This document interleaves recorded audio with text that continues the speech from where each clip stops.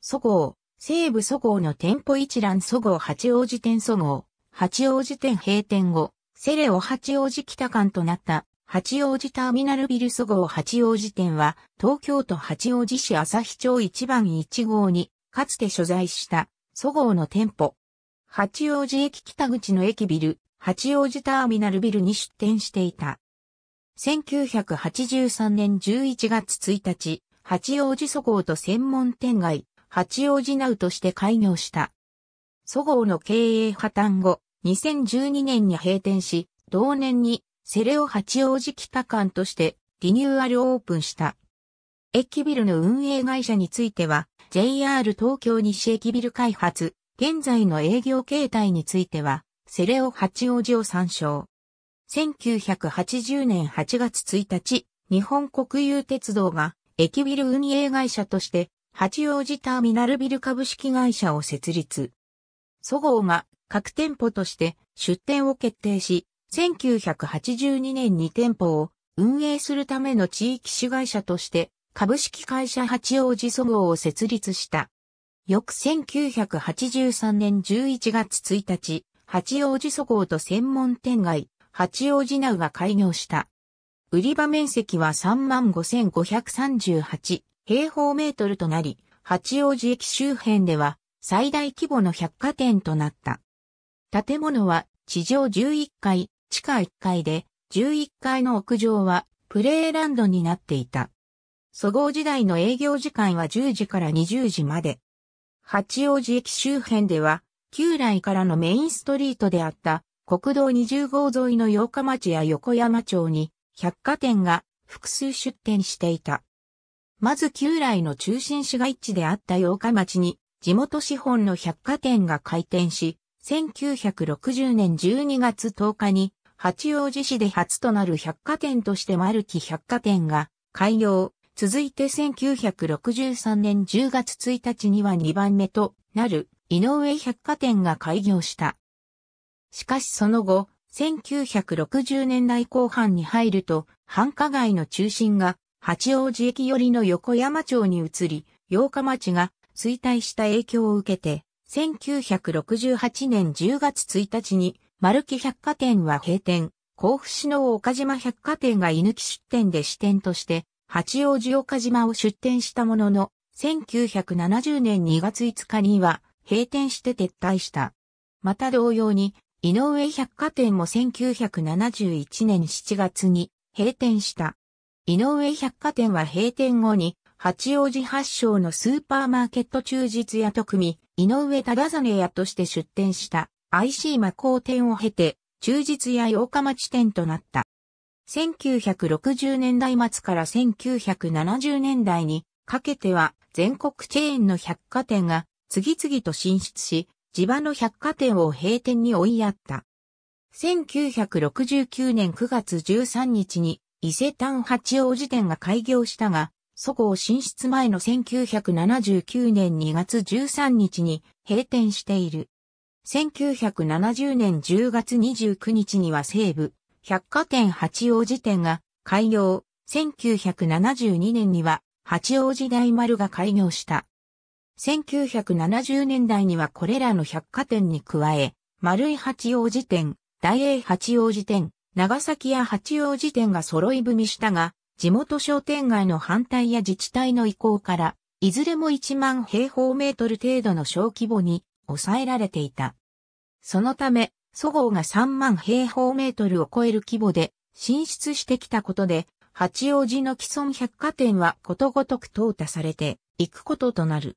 八王子大丸はそごう進出直後の1985年に閉店し、1987年に忠実屋の子会社が居抜き出店して、ショッピングセンター、ファムとなった。八王子大丸の閉店後は、八王子そごうは、八王子を代表する百貨店の一つとして、西武百貨店八王子店や、丸い八王子店としのぎを削った。しかし、江戸時代には、甲州街道の宿場町として、明治以降は、キート輸出のルートとして、古くから栄えた八王子では、地元商店街の力が強く、1960年代から1970年代にかけての国鉄八王子駅周辺への百貨店進出の際には、地元商店会による根強い反対運動が起きたため、西武百貨店や丸井の進出時には規模が縮小され、店舗面積が抑えられての出店を余儀なくされた。また京王八王子駅の地下化により、1994年9月15日に開業した京王八王子ショッピングセンターの出店時にも1960年代から1970年代の百貨店の出店時ほどの激しい反対運動はなかったものの地元商店会などの要望により取扱品目を限定せざるを得なかったという。駅周辺での競合店は他に八王子東急スクエア、長崎屋八王子店、大英八王子店などがあった。1990年9月にはさらに増床し、全館リモデルオープンした。そごうは1991年10月16日の川口そごう開業により30店舗出店計画、トリプルそごうを達成したものの、この頃から経営が悪化してゆく。京王帝都電鉄バス、八王子営業所は1992年3月25日に長沼町へ移転するまでは、朝日町の八王子駅北口にあり、八王子そごうに隣接していた。これは、京王線の八王子駅のリレー用地として確保していた場所を暫定的にバス営業所として使用していたものだが、京王八王子駅の地下化により乗り入れ計画が中止され、バス営業所が移転した跡地に京王プラザホテル、八王子が建設された。1990年代後半には、八王子駅北口で駅前再開発事業が行われ、市の主導で建設された再開発ビル、八王子スクエアビルに出店する形で、1997年3月14日に八王子東急スクエアが開業。八王子駅北口のバスロータリーを挟んで向かい合い、八王子そごうと並び立つ形となった。バブル景気の崩壊や無理な出店計画などの影響により、2000年7月12日、そごうグループ22法人は民事再生法の適用を申請し、事実上倒産。八王子そごうほか、計13社は再生計画が認可となった。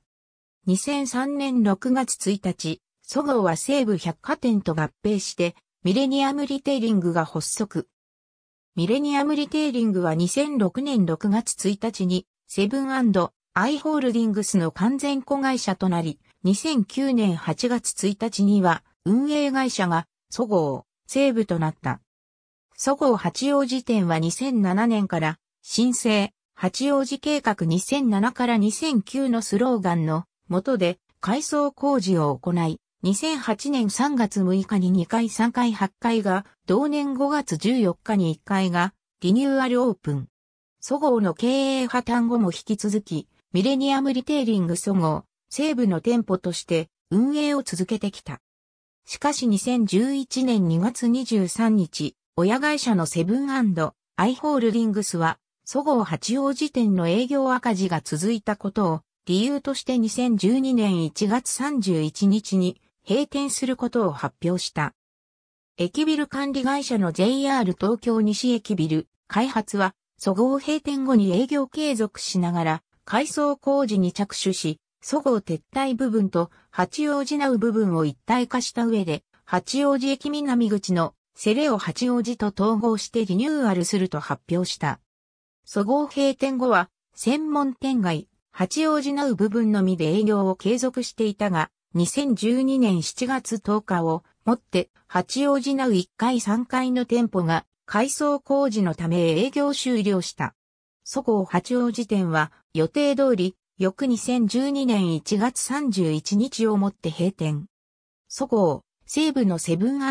アイグループ移行後も生き残った都内唯一の店舗として営業継続していたが、八王子店の閉店により東京都内からそごう店舗が消滅した。なお、東京多摩地域では2000年に多摩そごうが閉店、同じ八王子市内のゆずきそごうは開店後わずか2年で1994年に閉店している。